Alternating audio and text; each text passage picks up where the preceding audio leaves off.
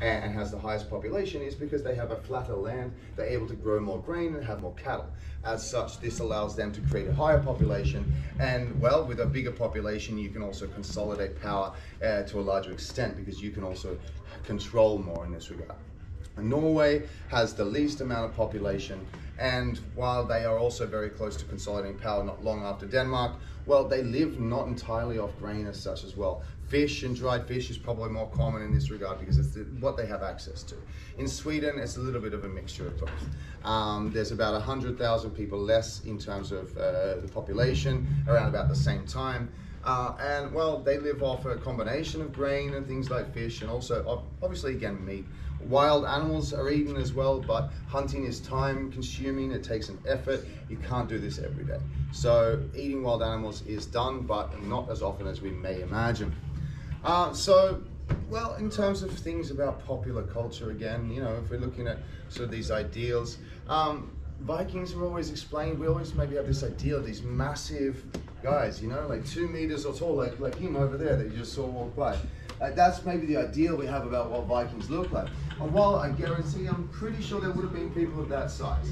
This is generally probably not the case. We have descriptions from uh, sources in England, for instance, describing exactly. See, and now this is what you'd imagine a Viking would look like. But to be fair, I'm actually about the average height of what a Viking is. Now, well, I've been telling you that for a long time. Now, what we know from different sources, in England they explain Vikings as being extremely tall, these massive people. And if we look at it in terms of maybe historical uh, basis, well, it's because people were shorter back then. So the average height of this man here, he's 179. That's the same height as what I am. Now, that would even be considered quite tall for a Viking. If you lived in England, your average height may have been around 150 to 160. So if you're looking at somebody that's about 160 to 170, which is the average height here in Scandinavia, that 10 centimeters is going to give you a bit of a difference. You go, oh, look at that. So while we may imagine them to be two, two and a half meters tall, not necessarily the case either. They're just slightly taller than what people would have been in other places. And you can even see certain things such as doorways giving a good indication of that in England. Doorways are a lot smaller because, well, you don't need to be as tall to get through them and that sort of things like. Uh, but these are sort of ideals that we get pushed along through what, again, popularism sort of wants to give us. So not necessarily something that's actually true in this regard. Now, obviously, you know, as I said, we're able to recreate this man to 90% degree accuracy, and we figured out so much information about him. Well, we figured he needed a name, and well, the competition here at the museum was held. He was this close to being called Justin Bieber. Um, uh, and how shame he wasn't. He does very much look like a Justin Bieber, to be fair. I would have known. He ended up getting called Leifer, but Leifer was uh, very good for us uh, in figuring out lots of other things as well. What a common man may have looked like and what he may have dressed like, for instance. So we have dressed him in this regard. Again, I talked a little bit about the ideals of the Viking series, right? Uh, everybody wearing leather and all this sort of stuff. Probably not the way either. Now, again, if you think about it, I mean, leather is also an expensive item because if you're not killing animals as often as, you know, to eat them and all this sort of stuff, using leather goods means that you wouldn't just use these for frivolities, like wearing them on your clothes. You use leather to make important things like bags or belts, things that are going to be of use uh, now, clothing is more likely produced out of things that you can do uh, a lot easier and that are more replenishable. Things like wool, which you can actually regrow because if you don't kill the animal, you know, the wool grows back. So you can actually produce things like this. Now, if you are a commoner, well, you're more likely to look like this. You'd have very dull colors, very simple clothing, more practical. Now, I'm a bit more fancy in my regard, you can probably tell. Uh, I mean, you know, I've got a few uh, good indications of that. First off, obviously, sword is going to tell you that I have money. But outside of that, things like the types of materials I wear. So these materials I have on here, they're more difficult to produce. And as such, this would show off that I have wealth and sort of status. Um, now, wealth and status, you know, it's the same as today. You go out, you buy fancy clothes because you want to show off that, uh, you know, I've got money. I, I, buy like the latest Gucci or whatever. I don't know. I don't buy fancy clothes. I'm a bum, but that's a whole nother story. But uh, in that regard, like fancy items and that sort of thing, you know, weapons or clothing or even sort of things like jewelry. And we look at things towards the end of the Viking era, uh, and well, things like coins become an ideal of what a status symbol would have. So coins were carried quite commonly by people here in the north, and we find lots of different finds of these engraved finds and also just uh, knowledge of written knowledge from outside sources.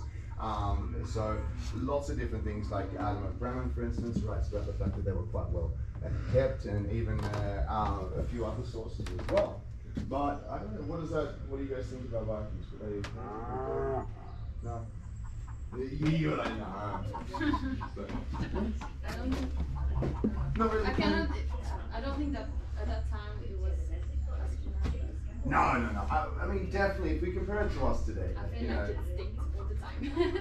Probably. So you don't wash your clothes very often, I bet. No, but that's just it. I mean, I don't even do it now to be fair, and I wear these every day, like, you know, so, no, but I think in that regard, you're probably right. Eh? I mean, if we compared it to us today, obviously it's going to be a big difference.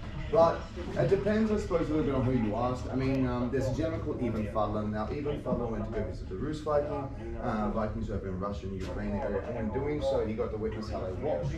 Now, he was not impressed whatsoever. He said they were the most dirty beast that he had ever met, uh, and was actually thoroughly disgusted. Now, he wrote down how they washed themselves. This was uh, how it went, basically. According to him, well, uh, what would happen is on a daily basis, they would have a slave come up with a bowl full of water in it, some sort, you know, some sort of washing container. And then, oh, this person go out, washing their hair, and, you know, then take a big swig in their mouth and spit it back out, and blow their nose and all this sort of stuff, and feeling uh, fresh. Well, the bowl will be given back to the slave and the step to the next person, using the same water, you know. And the bowl will be passed around the table. People sitting around that area, well, everybody gets to share in everything. Imagine, yeah, not exactly fresh.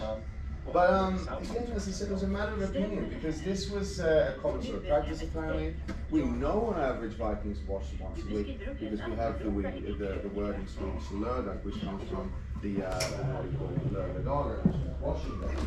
So this could be the day that we like clothes and wash itself, and wash itself. Um, and obviously there are other ways you can wash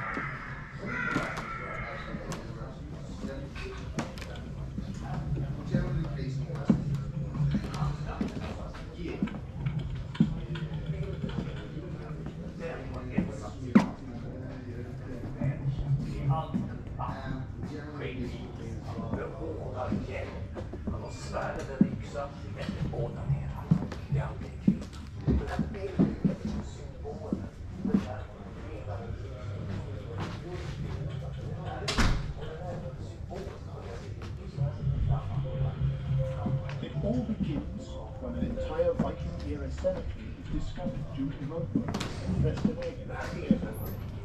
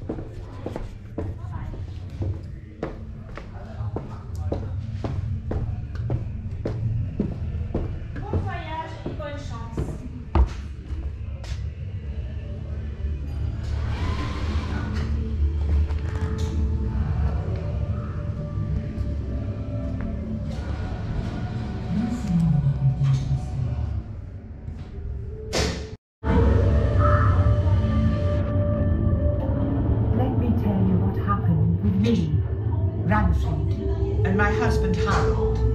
It's all about brutality and death, but also about love. For our daughter Sigrid. And Harold. He was a joyful slob who drank and embezzled everything. But I had sworn never to leave him.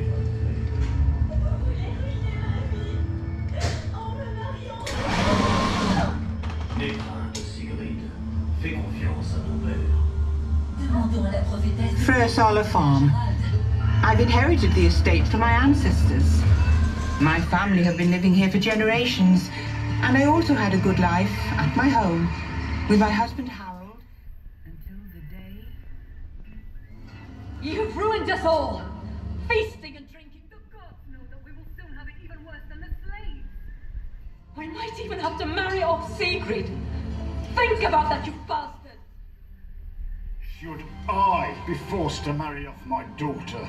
I'll show you who's the ruler here. Without silver, you're no ruler for anything! We need at least three barrels. Bring your best men and sail off to Kernogord with slaves and leather. Come home within two summers or it's over. Miss Ranfried. Are you going to ruin my life? Marrying off to some old slob! Don't you worry, Sigrid. You can trust your father. Let the seer predict your journey, Harold.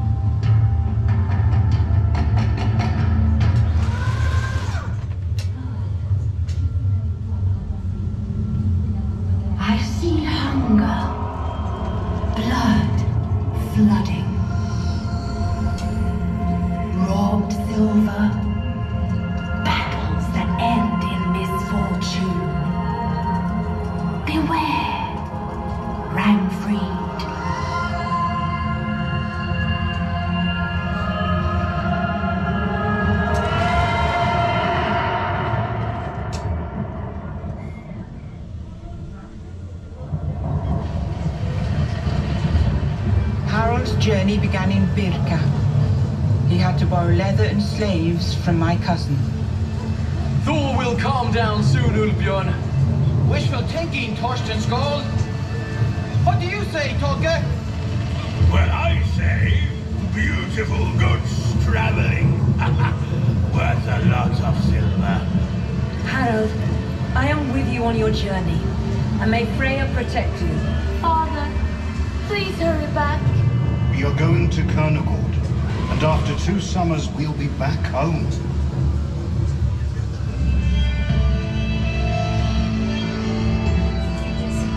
They sailed across the sea, up the rivers, travelled over land and along new rivers. After two lunar months, they finally approached Kernogord. I can see the city! How many steeples can you count with just one eye, Torge?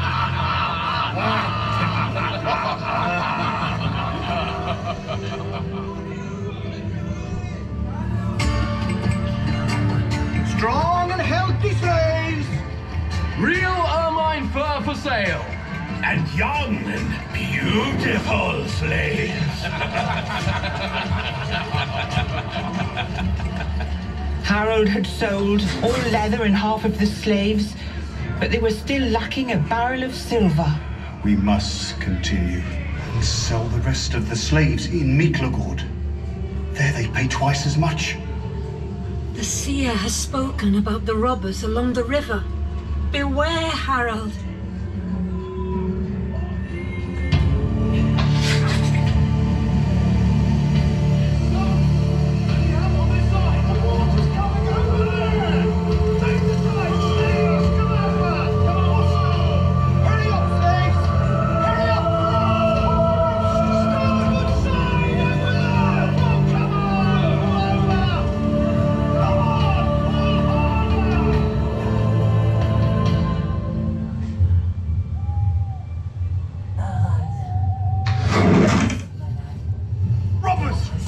Are attacking! Get the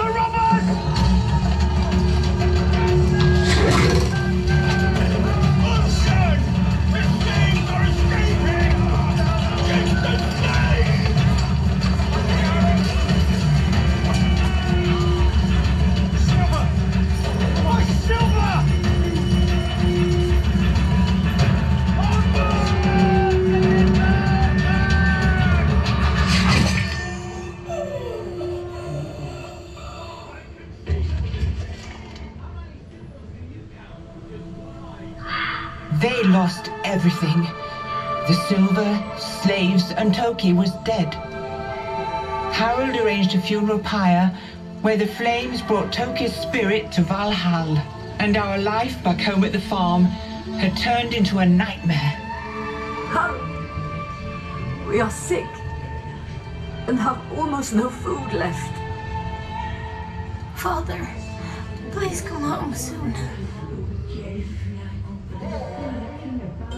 They finally arrived at Miklagord. Never had they seen a richer city, but they had nothing to sell, so they couldn't buy anything. They saw Hagia Sophia, the holy church of wisdom. The God of Christianity's house was like heaven on earth.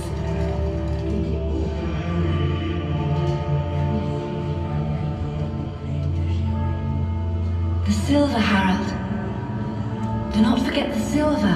Yes, Rangfried. Yes.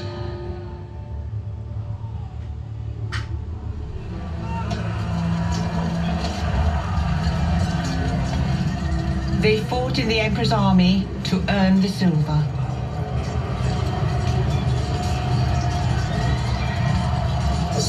Blood has flowed in rivers. What was Harold's reward?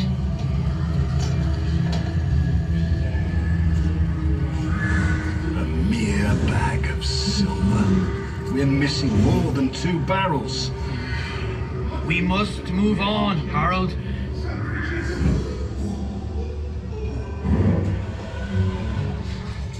On the other side of the sea, they carried north, through forests, over high mountains. They followed the rivers on to Germania's plains and arrived at the kingdom of Dane. They came to Hedeby, a horrific place. Finally! The sea! The ship, over there. They're Norwegians. They're armed for combat. Yet there's hope to save the farm and our glory.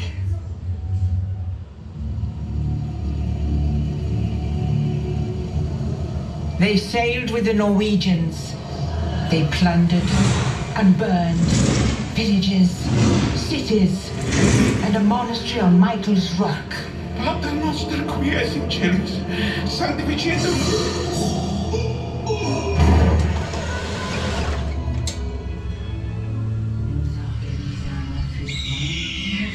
Will you be back soon, Harold?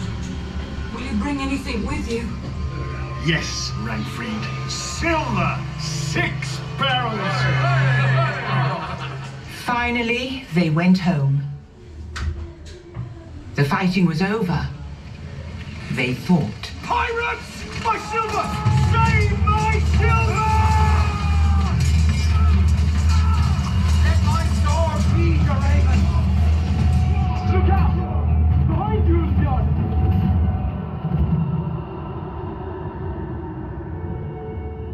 Finally, we won the battle.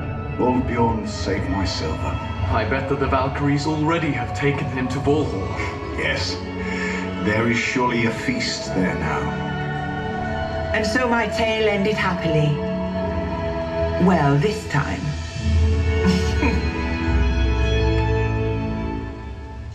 we arranged a feast, seldom seen.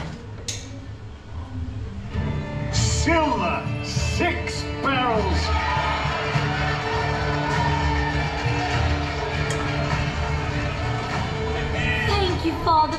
marry me off? My beloved daughter. Next year we'll take Setland, Harold. You never let me rest, Rankfreed.